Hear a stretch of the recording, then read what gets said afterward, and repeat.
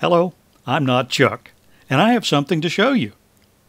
Yes, I have stickers.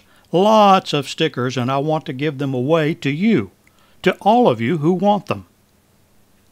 There's no charge for them, but I do ask you to send me a self-addressed stamped envelope like this viewer has done. She did it just right. She got my new address right.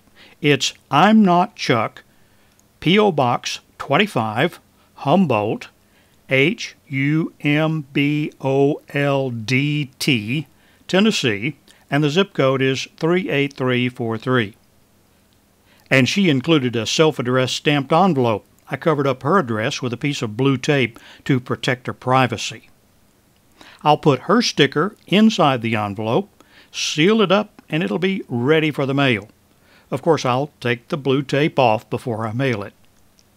So if you want a sticker, just send a self-addressed stamped envelope to my P.O. Box. That's P.O. Box 25, Humboldt, Tennessee 38343, and I'll return your envelope with my sticker. Oh, no, that'll be with your sticker inside.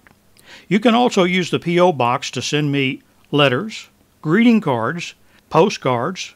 I would really love to see postcards from your home area or from your travels.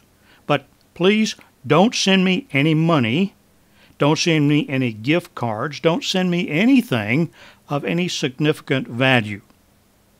I also have a new email address just for you to use to contact me. It's charles at imnotchuck.com. That's it for this video. Thanks for watching, and remember, I'm not Chuck.